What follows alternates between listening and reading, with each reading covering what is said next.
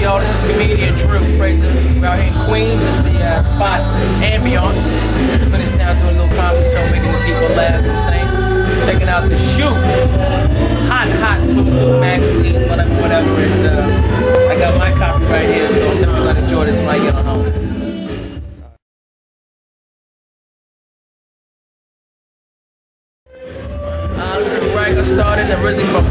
Massachusetts. That's my hometown right there, B-Town.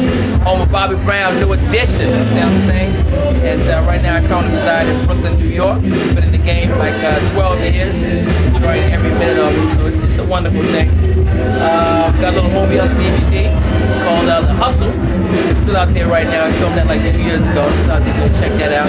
Plus I got my own half-hour stand-up. It's on DVD right now. Uh, called Live from the Millennium. You can go to my website and check that out at DrewFraserENT.com. And uh, you can also check me out on MySpace also on the same thing, Drew Fraser. And um, you know, just trying to make it happen. I got a big, big comedy show, comedy club in Long Island. If you're in the New York area, each and every Thursday night, we put it down at Giggles Comedy Club, exit 19N off the Southern State. It's 468 Peninsula Boulevard. And on the 15th, I don't know when you're gonna be seeing this, but on the 15th, got my man John Witherspoon coming through, man. It's gonna be crazy. It's gonna be actually the grand opening. So we're gonna put it down with a big comedy show and an after party and so forth. So a lot of things happen, a lot of things in the works. Right now, not another movie project, but we're working on a sitcom for Comedy Central. Uh, I can't tell you when it's going to air, when it's going to come on, but that's the big, big project that I'm working on next. Hopefully soon I'll be coming into everybody's living room real soon.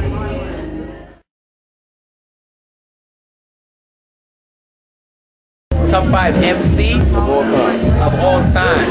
Wow, that's a big one. I gotta go, um, shit, the, almighty Rakim. Gotta give it up to Rakim right there. I think that's the prince of it all right there.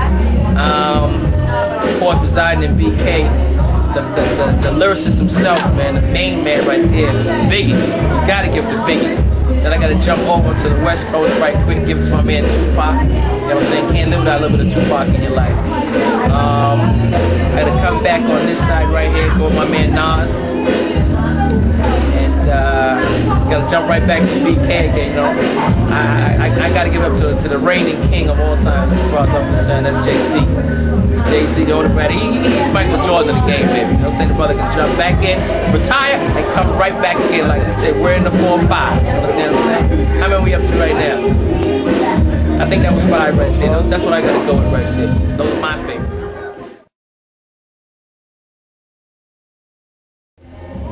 There's always gonna be times where you, uh, the show doesn't go your way. I mean, if anybody in, in any walk of life or any field of entertainment comes up here and says, "Oh no, I've always had a great time," they're lying to you. I'm saying sometimes your material doesn't work for the crowd. Um, luckily, I've been in the business long enough to know how to switch it, dibble and dabble it. Um, I can make about any anybody laugh, whether there's 400 people in the crowd. That's the big test right there. It's a lot easier to make 400 people laugh than it is to make four.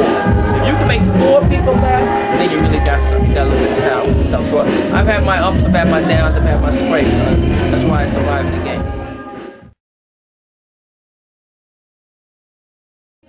Um, I can name some comedians right now that people never heard of in their life. It's the funniest of all time. My man Larry the Cable Guy, his brother making damn near a billion dollars a year right now. Literally, literally. All right, white redneck brother, brother sells out movies, CDs, all that type of stuff. Same with Jeff Foxworthy, white boy, highest grossing uh, white comedian there is out there. When you put a, when he put a CD out, it, it just goes bananas. And comedians don't even make money off their CDs number, but that brother does. Uh, Chris Rock, of course, is crazy. Bernie Mac, D.L. Hughley, my man Bill Bellamy. Um, the, the list goes on. List goes on. We got a lot of uh, great black comedians. We got a lot of Caucasian comedians, crazy. A lot of Latino comedians, which I really enjoy. Paul Rodriguez. Um, uh, just, just, you know, uh, Pablo uh, uh, Francisco. It's, it's, it's a lot. It's a lot.